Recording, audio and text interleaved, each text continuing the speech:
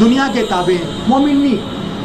تو بات کیا ہے؟ ایمان اگر جو کے برابر ہوگا، خیر جو کے برابر ہوگا، ایمان گیہوں کے دانے کے برابر ہوگا، خیر گیہوں کے دانے کے برابر ہوگا، ایمان ذرہ برابر ہوگا یا خیر ذرہ برابر ہوگا، اس کی نجات ہے۔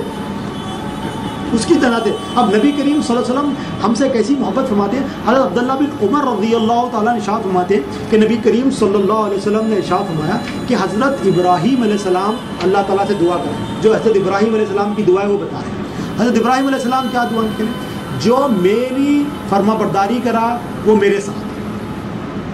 جو میری نافرمانی کرا، اے اللہ تعالیٰ، تو بخشنے والا اور مہربان۔ اپنی امت کے لیے دعا چل رہی ہے۔ جو میری فرما برداری کرا، وہ میرے ساتھ ہے۔ جو میری نافرمانی کرا، اے اللہ تو، اللہ تعالیٰ، تو بخشنے والا اور مہربان۔ پھر دوسری جو ہے، روایت کرتے ہیں، حضرت نبی کریم صلی اللہ علیہ وسلم، حضرت عیسیٰ علیہ السلام کی بات کرتے ہیں کہ عیسیٰ علیہ السلام نے دعا فرمائی۔ اے اللہ تعالیٰ، اگر تو ان کو عذاب دے تو یہ تیرے بندے اگر تو ان کو بخش دے تو تو غالب اور حکمت والا ہے۔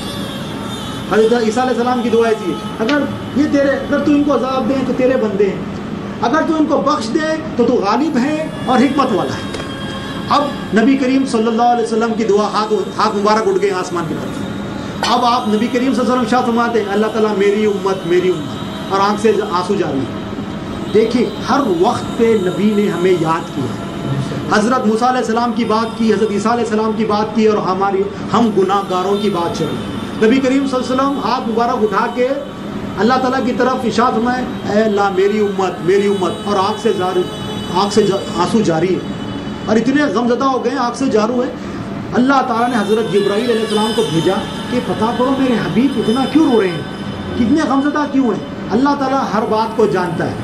اللہ تعالیٰ کو ہر بات کا علم ہے۔ مگر حضرت جبرائیل علیہ السلام کو فوری بھیج دیا۔ حضرت جبرائیل علیہ السلام نبی کریم صلی اللہ علیہ وسلم سے ملاقات کریں، بات کریں، سمجھیں اور اللہ تعالیٰ کے سامنے پیش کر دیں۔ تو اللہ تعالیٰ حضرت جبرائیل علیہ السلام کو ارشاد فرماتا ہے، اے جبرائیل، تم فوری جاؤ، میرے نبی سے ارشاد فرما دو کہ ہم آپ کی امت کے بارے میں آپ کو رنجیدہ نہیں کریں گے، آپ کو راضی کر لیں گے۔ ہم آپ کی امت کے بارے میں آپ کو رنجیدہ نہیں کریں گے، آپ کو راضی کر لیں گے۔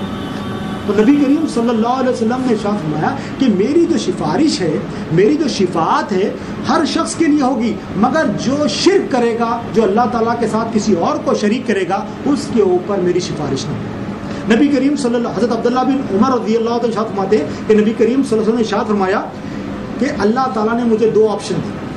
دو چیزیں بتائی کہ ایک فیصلہ یہ کہ آپ کی آدھی امت بغیر حساب کتاب کے جنت میں۔ یا دوسرا فیصلہ یہ کہ آپ شفاعت اختیار کر لیں۔ ایک ایک آپشن یہ ہے کہ آدھی امت کو جنت میں لے کے چلیں بتا اور حساب کتاب۔ دوسرا آپشن یہ ہے کہ آپ شفاعت اختیار کر لیں۔ نبی کریم صلی اللہ علیہ وسلم نے شاہ میں نے شفاعت کو اختیار کر لیا۔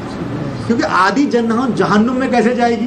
آدھی جہنم میں کیسے جائے گی؟ پھر آپ نے شاہ فرمایا، صحابہ کی طرف متوجہ ہو کے، کیا تم سمجھتے ہو یہ شفاعت جو ہے نا، میں پرہیزگاروں کے لیے استعمال کروں گا؟ آپ خود سوال کر رہے ہیں۔ کیا تم سمجھتے ہو یہ شفاعت میں پرہیزگاروں کے لیے استعمال کروں گا؟ یہ شفاعت تو میں گناہ گاروں کے لیے استعمال کروں دیکھا آپ نے؟ تو بات کیا ہے؟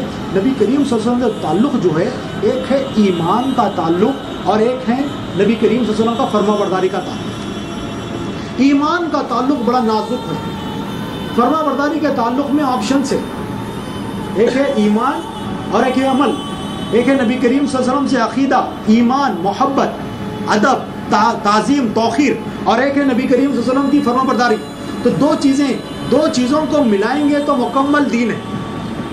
دو چیزوں کو ملائیں گے تو مکمل دین ہے۔ اگر کوئی یہ سمجھے کہ نبی کریم صلی اللہ علیہ وسلم کی صرف فرمبرداری کریں ایمان سے دور ہیں، نبی کی محبت سے دور ہے نبی کی تعظیم توخیر عظمت سے دور ہے تو وہ عمل کام میں نہیں آئے گا۔